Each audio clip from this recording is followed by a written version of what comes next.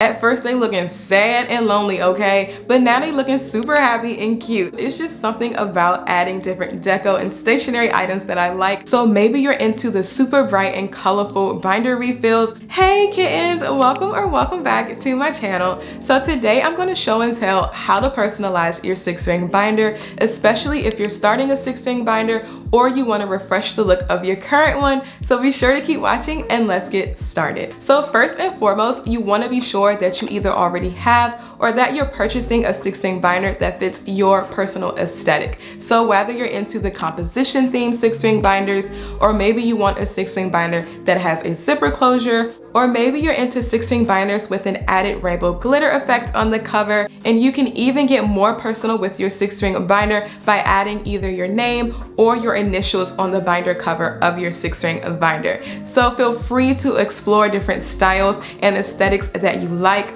Also a quick pro tip, do not neglect the binder rings Kiittens, okay? So if you are into certain colors or styles for your binder rings, be sure that you look into those as well and feel free to change those up if you would like. So next you also wanna look into different refill sheets that also fit your aesthetic. So maybe you're into the super bright and colorful binder refills or maybe you wanna buy refill sheets for planning or maybe you want binder refills that have a cute quote or different pictures on them like some of my DIY binder refills. So feel free to either look into different refill sheets that fit your aesthetic or think about some that you can create on your own. So the next thing that you can try as well is to either deco the cover page or the first page of your six ring binder, which y'all, I find this part so fun. So here's an example of a couple of my six ring binders that I decorated the first page cover of. And y'all, I don't know, but it's just something about adding different deco and stationery items that I like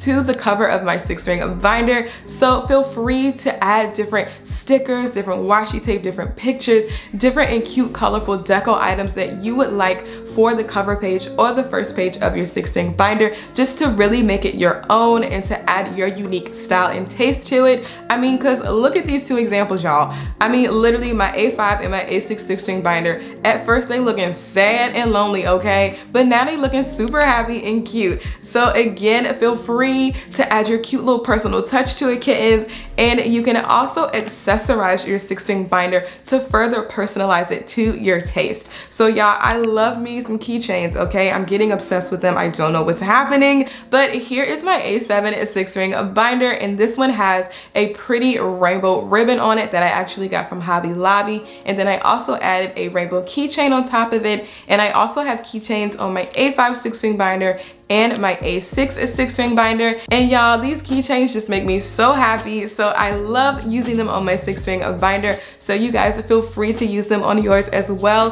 which I will link everything down below for you guys if you all are interested in the things that I also use. So personalizing your six ring binder is also in the ways that you use it as well. So if you guys just wanna use your six ring binder for journal prompts, you are free to choose an aesthetic and a style that matches your personal taste.